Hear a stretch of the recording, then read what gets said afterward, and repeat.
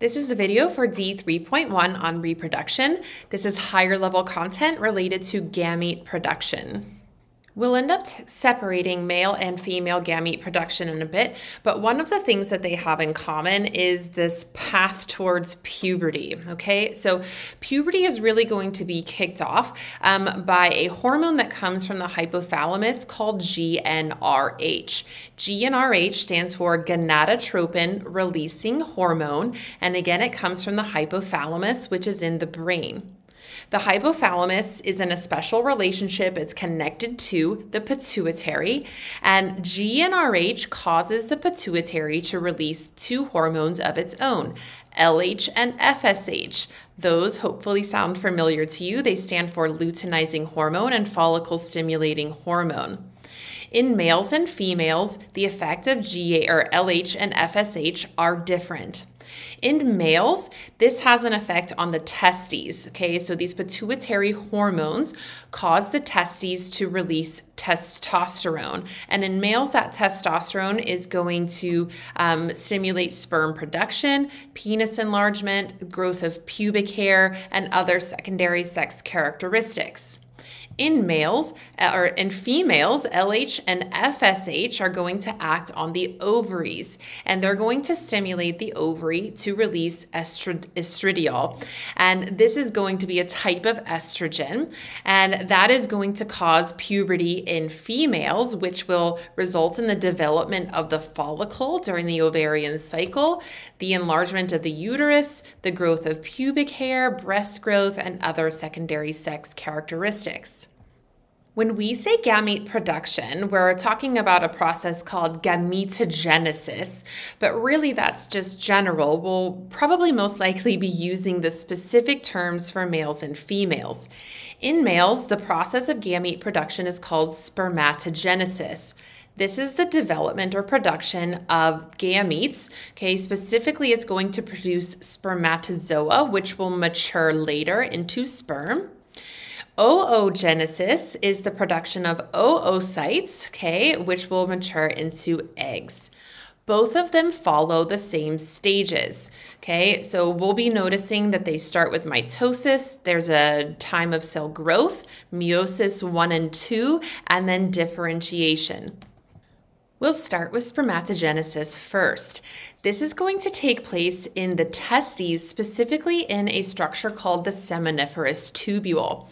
So, in the the testes is this um, group of tubules, the seminiferous tubules. And if we look at a cross section of one, I'll try to outline one here for you. So, here's a cross section through one of the seminiferous tubules in the testes. This is the tubule part, right? So, you can imagine going through this. Um, this will occur from puberty onward. So spermatogenesis for males starts in puberty. The cells lining the um, seminiferous tubules um, are called the germinal epithelium. So I'll kind of outline that here in blue. So they're going to be around here on the periphery. And these germ cells are so cool. They can do mitosis or meiosis. So they're going to undergo mitosis a bunch of times to produce a lot of cells. And then those new cells are going to grow a bit. During puberty, when sperm production needs to take place, those germinal epithelial cells, instead of undergoing mitosis, will undergo meiosis to produce four haploid cells. Those four haploid cells are then going to attach to a special type of cell called a Sertoli cell, which I'll show you in a minute, while they differentiate and grow and develop into sperm. So we'll be able to see them here. And then these little things poking out in here are the developing sperm. So here's a clearer view of that, right? So this is just a very small section. Imagine this seminiferous tubule cross section going all the way around. Okay, here are those germinal epithelial cells. They are capable of undergoing mitosis to create more of themselves, or they can undergo meiosis one and two, and I end up with four haploid cells, right? These haploid cells um, aren't mature sperm yet. They need to grow, they need to differentiate, they need to develop structures like a tail and the acrosome and all these things.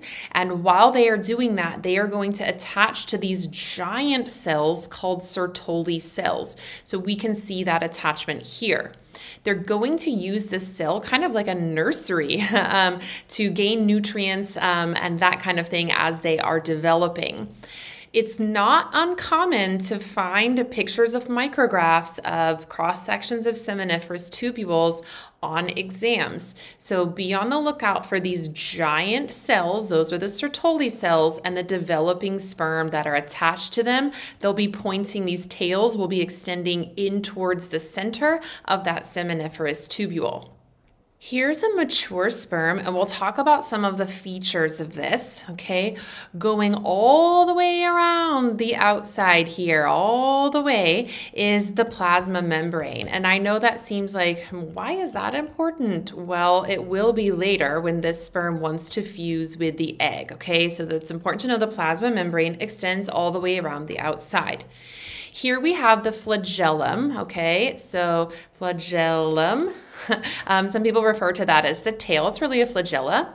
In the middle of the sperm is an area called the midpiece, okay? And inside of the midpiece are several mitochondria. And if you think about what the sperm has to do, wow, it's got a lot of swimming to do to get all the way up to that egg in the oviduct. So it's going to need to generate lots of ATP. The sperm also then has the head, and inside the head are a few features that we should talk about. One is the acrosome. This is full of enzymes, which we'll talk about later. We have the haploid nucleus. So, if this were humans, that would have 23 chromosomes inside. And then it has a centriole. It's not really important, really, for our discussion, but just so you know, it's going to help move this nucleus around um, when it needs to. And now we'll move on to oogenesis. This is going to occur in the ovaries. And unlike males, where it's all happening just puberty and onward, this is going to happen in two main stages. It's going to actually start before birth. So before a female is even born, she begins the process of oogenesis here's a cross section of the ovary, and just like with males, around the periphery is this germinal epithelium. Those are those special cells capable of undergoing mitosis or meiosis. So, just like with males, they will undergo mitosis many times to produce lots of cells, and those cells will grow. Those cells before birth will undergo meiosis 1 and they'll become these primary oocytes. The name so much isn't important right now, but what is important is understanding that this um, germinal epithelium. It's arrested in meiosis 1 right before birth and it won't finish meiosis. It won't do meiosis 2 until the menstrual cycle. So this is happening during puberty. So meiosis 1 before birth the rest of the gamete production or oogenesis will resume during uh, puberty. So during each menstrual cycle, one of these primary oocytes will differentiate or will be selected um, to start differentiating. It'll develop a follicle, it will undergo meiosis 2, and it will eventually differentiate into a mature ovum. So here's a closer look at that. Again, in case you need to see that, we're starting with the germinal epithelium. We go through meiosis one, and then we start meiosis two um, during the menstrual cycle. And the mature ovum is going to have several features that we should point out. So in the sperm, we started with the plasma membrane. Let's do the same thing for the egg, and that is right here, okay? So this plasma membrane is what the sperm's plasma membrane will fuse with um, during fertilization. All right, let's go on the inside then. Okay, so on the inside of the plasma membrane is the actual cell, and then we're going to find, just like with the sperm, that there is a haploid nucleus here. And there's this other really weird thing, this blue thing over here. What's this doing? This is something called the polar body. So it is the remnants of unequal um, division of the cytoplasm during meiosis.